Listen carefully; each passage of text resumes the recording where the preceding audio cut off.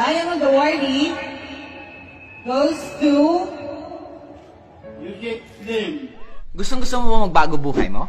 At hindi hindi mo alam kung anong gagawin mo? Ah, eto, panoorin mo to. ang tinatamasa mong yaman o asenso ay bigla na lang mawala ng isang iglap.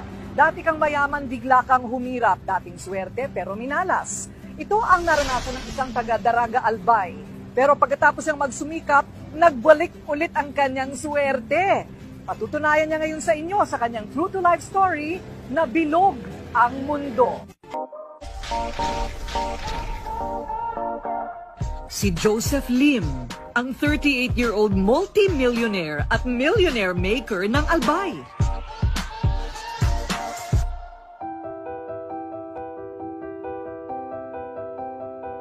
Sa likod ng kanyang tagumpay ay ang mga pagsubok na naglugmok sa noon ay marangyan nilang buhay. may kaya parents ko eh. Kasi both sila pareho may negosyo. And dun ko rin na-experience na yung difference between may pera at wala. Kasi kumbaga parang iba yung treatment pag kumikita ka talaga ng malaki. Lahat ng gusto ko binibigay eh. Isang iyak lang bibigay na sa akin. Hindi hindi ko po makalimutan nun. Every week binibilan ako ng G.I. Joe that time na toy. Eh, I think kung pagtama pagkakaalala ko, nasa mga 100 pesos yun, isang, isang toy lang. And elementary ako nun para bilhin ako ng magulang ko every week.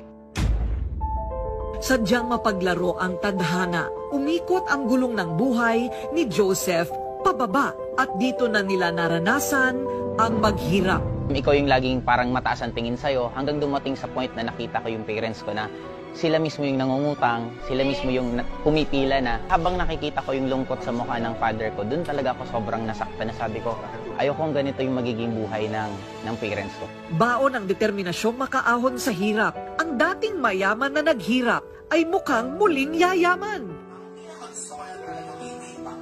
Taong 2007, certified milyonaryo na ulit si Joseph. Handa na siyang bawiin ang lahat ng nawala sa kanya sa Albay. Pero ang inaasam na muling makasama ang ina, hindi na nangyari. Kumbaga, hindi, hindi ko ito makalimutan kasi that the time na papunta dapat ako ng Cebu noon, tapos sabi ng mama ko, Joseph, pwede ka bang pumunta muna dito sa akin, imit mo ako. Namimiss ka ng uncle mo. Kasi mama, nakikitira na lang that time sa uncle ko. Pagpunta ko doon, yun na pala yung last na magkikita kami. Diamond awardee goes to Slim. Taong 2014, nakuha niya ang pinakamataas na pwesto sa kanilang kumpanya, ang pagiging isang Hall of Famer dahil sa dami ng kliyenteng nahikayat niyang tangkilikin ang kanyang produkto. Hindi mo kailangan mag-antay kung kailan ka magsisipag. Pag gusto mong umasenso sa buhay mo, dapat mag-desisyon ka. Tinatamad ka man o hindi, magtrabaho ka. Sa pagbalik niya sa Albay, unang bagay na ginawa ni Joseph ay bawiin sa bangko ang ancestral house na muntik nang marimata. Hi! Alam mo ba na ito talaga yung original na bahay namin? Kaya nung simula nung natubos namin ito, dun ko na siya pinaganda ng pinaganda. Alam nyo ba itong nakikita nyo ngayon? May parking yan kasi dati parkingan to lahat ng jeep. At itong building na nakikita nyo nasa harap, yan yung guest house. Since marami ako lagi mga bisita na pumupunta galing iba't ibang lugar na dumadalaw dito, kaya nagpagawa ko ng ganyan yung second floor and third floor para meron silang tirahan once may mga bisita ako dito sa bahay. At ito yung sa mga ilan na ipundar ko. Ito yung first car ko. Ito yung pinaka-love ko syempre yung kotse. At ito naman ang isa. Pero ang pinakamaganda dyan, yung nasa Manila po, Ma'am Corina. At kung dati pampasaherong jeep ang kanyang minamaneho, aba ngayon, lima na ang kanyang sasakyan kasamang isang sports car na nagkakahalaga lang naman ng limang milyong piso. At ito naman ang saksi kung gaano ako kasipag kasi ito yung kasama ko palagi sa out of town ko. Pero meron akong isang kwento na napaka-special. Bakit special? Kasi itong coaching to, niregalo ko sa special na tao, walang iba kundi yung papa ko, pati plate number, ginawa kong pangalan niya. Maliban sa bahay at mga kotse, kaliwat kanan din ang kanyang mga residential property sa Bicol at mga condo unit sa Maynila. Nabawi talaga lahat ni Joseph ang kanilang mga naisangla at nabentang ari-arian. Kaya naman si Joseph tumutulong na ngayon sa iba para maging multimilyonaryo kagaya niya.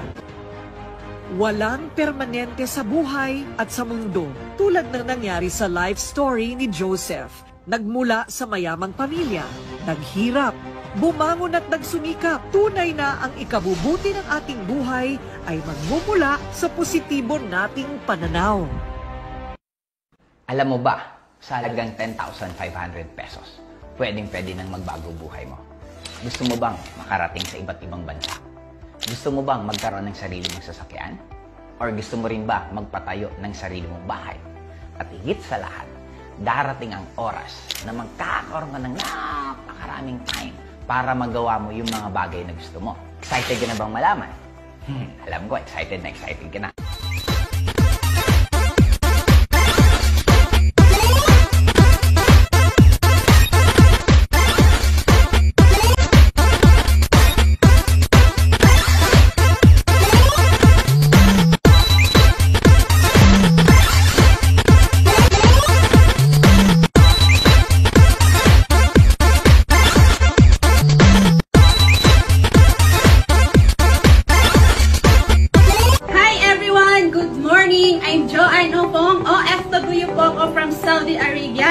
Right now, uh, kaka-claim ko lang po ng cheque ko worth of 15,200. Cornelius, former service crew. Kumita po ako today. Tumeke po ako na 43,025 pesos. Hi, I'm Bon Eric Luis Tronodado, uh, dating boy sa Palengke, na ngayon po ay kumita ng 45,000. Ang nakakatuwa po nito, kung kinaya ko, alam kong kaya mo rin. Hi, and good morning. I'm Christian Dimorhan, dating fruit vendor sa Pasay and ngayon nag-check ng 46,700 plus. Hello everyone! Uh, I'm Michelle Sombesi, former OFW from Saudi Arabia. Nag-cheque po ngayong araw ng worth of 15,200 plus sa loob po ng isang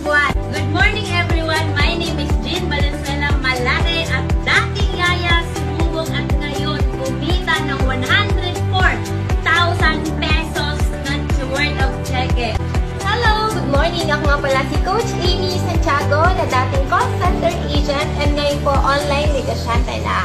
So guys, may good news ako sa inyo dahil ngayon po, kumita ako ng 105,536.65 centavos, di ba?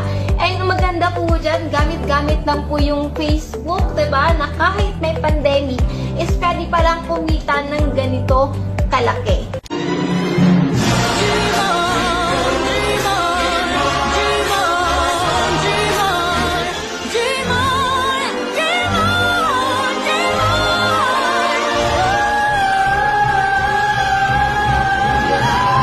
Sobrang nakaka-inspire. One thing's in my mind. Someday, I'm very sure you're gonna get it. Kasi unique ka eh. May sarili kang buhay, may sarili kang programa para makuha mo yung success na inaantay mo sa dulo. I truly believe that you don't have to be the first, but you just have to be the best version of yourself. We are all preparing you guys para sa ikaka-full blast ng 2023 natin. habang umakit ka sa stage, kahit anong award, na nakakatuwa din pala pag nare-recognize. Congratulations kasi merong technocrat na nagre-recognize ng galing niyo, na nagre-recognize ng value niyo as a person, as a leader. Reminder lang yan ng galing mo this year. Kahit anong ranker, hindi yan rango. Kumaga parang panamuti lang yan, huwag mo ilagay sa pagkan. Kaya, congratulations kasi whatever na award na meron ikaw ngayon, alam ko at naintindihan mo na magiging stepping stone mo siya para sa next goal mo. Hindi ibig sabihin kung ano ang nangyari sa kanila, yun ang mangyayari sa akin. Kaya krinita ako sa mundong to kasi meron akong magagawa ng hindi nagawa ng kahit sinong tao dito sa mundong to. Kaya para sa akin, sa pagsisimula ng Technocrat, sa mahabang mahaba pang panahon na pagsasamahan natin, cheers para sa maraming pangarap na mabubuhay because of Technocrat. Thank you! Di ba? Nakaka-inspire. Kaya kung ako sa'yo, kung sino man ang nag-send sa iyo ng videong ito, ako na mismo magsasabi, sundin mo sila. Gawin mo kung anong pinapagawa nila kasi sigurado ako, eto na ang magiging simula ng pagbabago ng buhay mo.